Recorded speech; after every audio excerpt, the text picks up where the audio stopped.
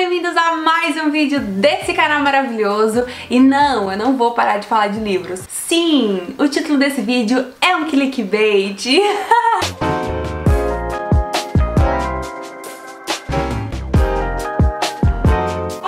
Espero que funcione, que eu tô precisando de visualizações. Perdão, gente, pelo clickbait, mas é porque muita gente tem me perguntado isso, resolvi usar isso a meu favor. Vocês devem ter reparado que o mês passado foi, abril, foi um mês muito diferente aqui no canal. Testei coisas novas e ao mesmo tempo testei coisas que não foram tão novas assim. Eu tô fazendo novos formatos de... tô tentando fazer novos formatos de capas e novas edições e coisas assim e tal e tá dando nessa bagunça aí que tá o canal, porque eu tô numa fase, eu tenho várias dessas, quem me acompanha aqui faz tempo sabe, eu sempre tenho isso, fases de recomeço, de mudar a cara do canal e isso e aquilo, porque coisas iguais me enjoam. E hoje a gente vai falar várias coisas sobre livros, vai ser aquele vídeo assim, 20 minutos sobre livros, sabe? Eu quero conversar melhor com vocês e falar sobre altas coisas e... Mas antes de começar, não se esqueça de se inscrever nesse canal, de deixar o seu like, de se inscrever no canal de vlogs também, de comprar livros com meu link pra me ajudar muito. Aqui embaixo vai ter link de compra direto na Amazon, comprando através deles você me ajuda muito. E hoje então é um vídeo em que a gente vai bater um papo generalizado sobre livros e como as coisas estão e como vai ser e como é e como... É isso, vamos falar de livro. Queria muito estar gravando esse vídeo ali na minha estante, mas não tá tendo obra aqui em casa. Quem tá em dia com o canal de vlogs sabe que ali fora no... Na, na, lá fora tá colocando piso, então tá cheio de pedreiro aqui. E dá pra ouvir muito barulho deles do lado de lá. E aí, enfim, tô aqui por conta disso, mas queria estar na minha estante.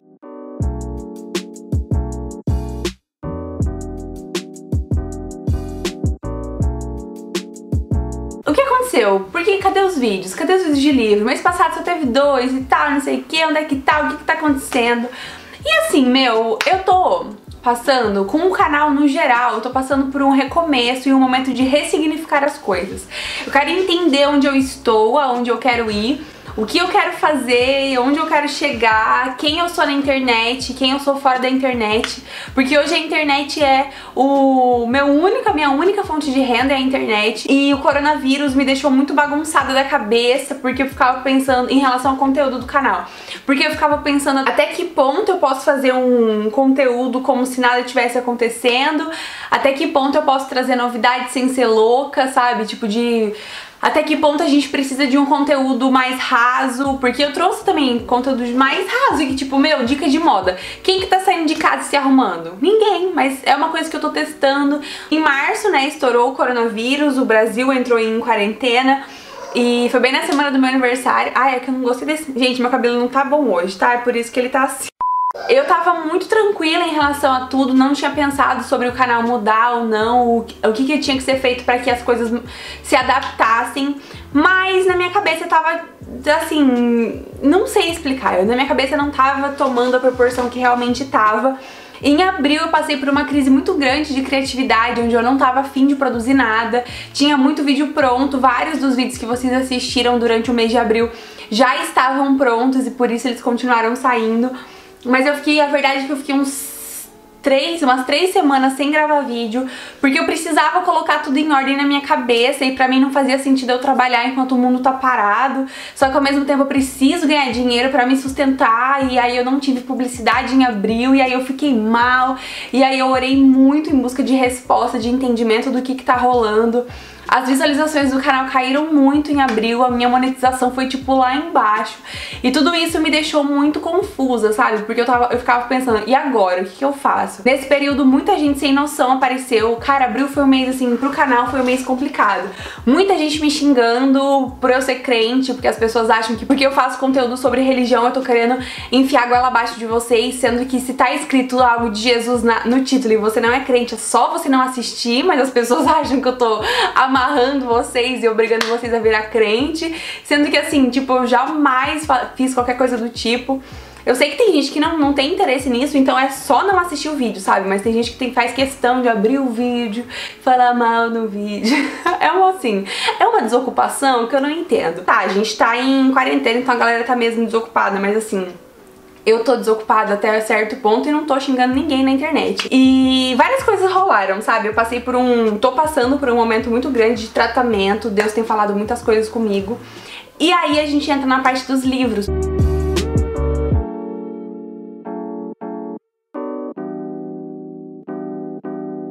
Porque durante o mês de abril eu não li absolutamente nada. Eu comecei a ler Guerra e Paz, que eu postei lá no Instagram. E tô lendo a lista de casamento de Beck Bloom, que inclusive tá muito legal, comecei esses dias. E não rolou, assim, tipo, as, as leituras não fluíram. Eu comecei vários livros em abril e abandonei todos e acabei ficando com Guerra e Paz, mas não li nada, ó, tô na página 119. Porque, por conta de tudo isso.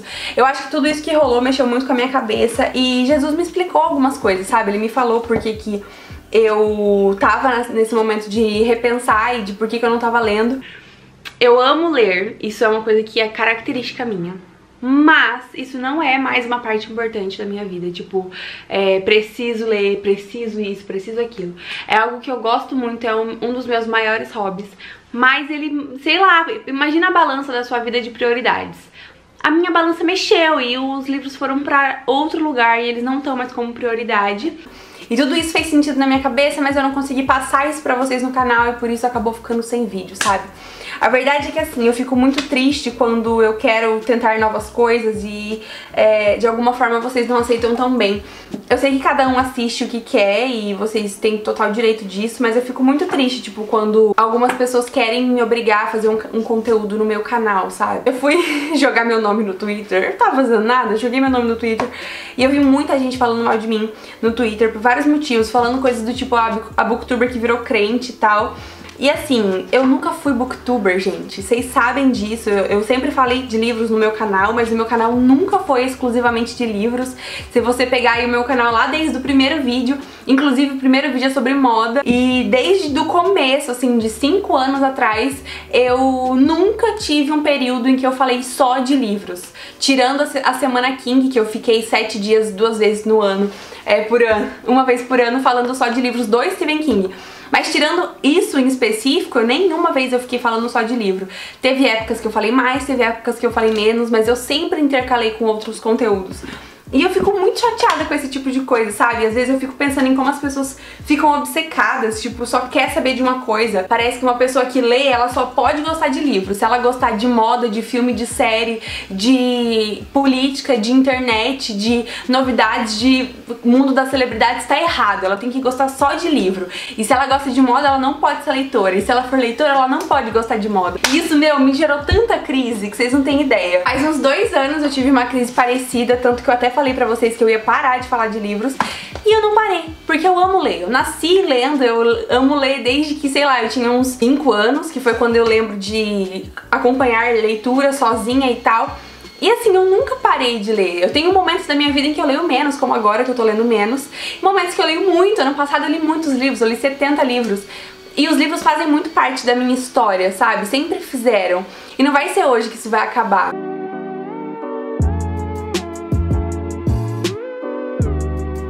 Só que eu quero ressignificar os livros. Eu fico pensando que na internet, nesse mundo do YouTube, tem muita coisa igual. Tipo, a gente vê muita, muito canal de maquiagem que faz a mesma coisa, canal de moda que faz a mesma coisa, canal de games, canal de novidades canal de livros. Todo mundo parece que faz a mesma coisa e eu quero encontrar a minha identidade, sabe? A minha cara. Eu sempre achei muito legal a nossa relação porque eu trazia um conteúdo, mas eu sabia que a gente se gostava, sabe? Que vocês gostavam de quem eu era e eu gostava de vocês por quem vocês eram e não pelo conteúdo que eu trazia. Por muitas vezes a gente se a gente lidou um com o outro como amigo, sabe? E isso que eu acho, eu queria que fosse o diferencial daqui do, do canal que a minha identidade fosse o nosso relacionamento e a forma que eu sou, a forma com que eu lido com a, com a vida e a forma com que vocês recebem isso. E muitas vezes isso me deixou muito triste, porque eu comecei a perceber que as pessoas não estavam mais interessadas em quem eu era, elas só queriam saber quantos livros eu li no mês.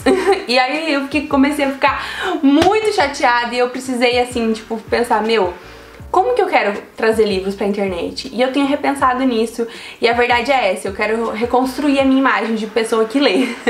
não sei mais se eu quero trazer formatos assim, sentada, conversando, talvez eu queira trazer algo misturado com vlog, talvez eu queira, eu não sei, eu quero trazer algo novo e eu não sei direito de onde vai sair essa coisa nova, eu só sei que eu preciso de uma coisa nova. São pouquíssimos os canais de livros que se diferem dos outros. Tem vários que a gente consegue claramente ver que fazem mais do mesmo, sabe? Tem algumas pessoas que, apesar de fazerem mais do mesmo, conseguem se destacar muito. Por exemplo, a Tatiana Feltrin. Ninguém faz resenhas nesse booktube como ela. Tipo, ela posta qualquer livro, qualquer resenha de qualquer livro. Todo mundo assiste, no caso. A Bel Rodrigues, meu. O que, que é Bel Rodrigues? Ela é um fenômeno. Ela posta qualquer resenha de qualquer livro e bate 100 mil visualizações. E isso mais ninguém no booktube tem. Ninguém bate 100 mil visualizações com vídeo de livro, assim, tipo de um, um livro único. Muito complicado muito difícil. E a Bel conseguiu trazer uma identidade só dela, sabe? Outra pessoa que eu sei que traz uma identidade muito única, que eu admiro muito, é a Bia. Meu, a Bia também é um fenômeno, ela cresce muito, as pessoas gostam muito dela e eu sei por que, que as pessoas gostam muito dela, porque ela é muito verdadeira. E o canal dela é diferente também de tudo que a gente vê por aqui. E é isso que eu sinto que tá faltando no meu canal. Por isso que eu fiquei um pouco sem falar de livros. Porque eu não tava conseguindo achar essa chave que vira na minha vida que é diferente de qualquer outra coisa. Tipo, o que, que me diferencia?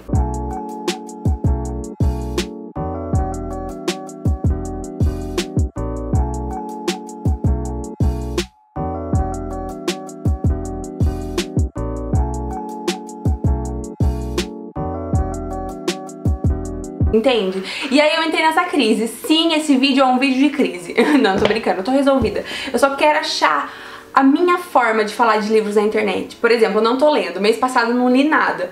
Então o que, que eu poderia fazer? Eu poderia trazer vídeo de tag. Tag é super legal, eu adoro assistir tag. Mas até que ponto eu ainda quero ficar fazendo lista e tag e, e, mostrando livros. Eu fico refletindo sobre isso e parece que eu tenho que achar a caixa de Pandora, sabe? Que dentro dessa caixa vai me dar a resposta de como continuar falando de livros de uma forma nova. Eu tô com alguns vídeos gravados, que eu gravei hoje inclusive, que são sobre livros que ainda estão num formato que eu não sei se eu amo. E eu tenho esse problema de me cobrar muito, de ser muito perfeccionista. Quem me acompanhou no diário do TCC, que eu postei ano passado, eu sou muito perfeccionista, gente. Eu quero entregar algo que eu me orgulho. E tem vários vídeos meus que eu re reassisto de livros que eu não me orgulho, que eu fiz de uma forma desleixada, sabe? Que eu fiz só pra ter vídeo pra postar e eu não quero, eu não quero trazer pra vocês um vídeo só pra postar. Eu quero trazer um vídeo que vai mudar algo na sua vida e por isso que, que eu tenho falado cada vez mais de Jesus aqui, porque eu sei que isso é algo que muda a vida das pessoas. Jesus muda a vida das pessoas porque mudou a minha. E moda é uma coisa que pode sair, tipo, sei lá, dar ideias e você olhar pro seu guarda-roupa de uma forma diferente. Eu sei que a leitura muda vidas, mas eu fico pensando, cara, será que as pessoas querem mais uma, um vídeo de lista, igual o que eu já fiz 15 mil vezes falando dos mesmos livros? Porque também tem essa, essa crise aí, que eu falo toda vez dos mesmos livros. E eu fico assim, gente, tá na hora de apertar o botão de reset e recomeçar, sabe? Tipo, tá na hora de recomeçar e eu quero descobrir como. Não sei direito como ainda, mas eu quero. Talvez eu continue fazendo algo diferente somente com é, cenas e edições e não só em conteúdo, mas eu quero trazer algo que seja diferente, tanto pra mim quanto pra você. Porque eu preciso amar de novo esse mundo dos livros. Porque eu tô com preguiça de ler. Eu fico com preguiça, eu fico pensando, é muito mais legal assistir uma série. E aí, como eu tô nessa fase de assistir série, eu quero trazer um assistidos pra vocês, contar o que eu assisti durante o mês. A verdade, gente, é que esse canal, esse canal aqui que vocês estão assistindo, o nome dele é Vitória Doso. E dentro da cabeça da Vitória Doso tem tanta coisa. Tem moda, tem Jesus, tem histórias do passado, e tem livros, e tem é, coisas que eu tô descobrindo, e tem reflexões, e tem uma, uma coisa super colorida, porque minha vida é bem colorida. Não sei se vocês já repararam, mas tipo, eu sou uma pessoa colorida, eu gosto de cores, eu gosto de mudança, eu gosto de chamar atenção com coisas visuais e eu tenho tentado achar uma coisa e eu não gosto desse cenário e eu tô pensando o que que eu posso fazer pra apertar aquele botãozinho que vai mudar tudo. Esse vídeo não faz sentido. É aquele vídeo que realmente não faz sentido, né?